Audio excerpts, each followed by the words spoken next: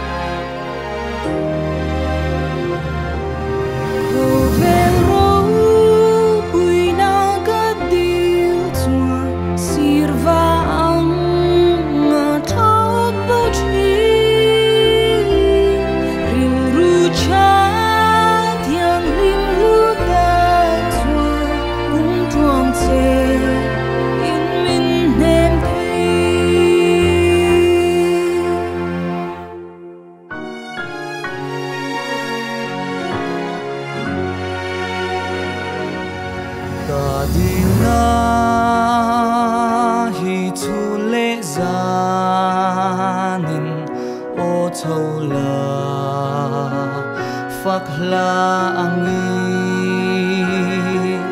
lom na a khatril ru thiang him amoi tu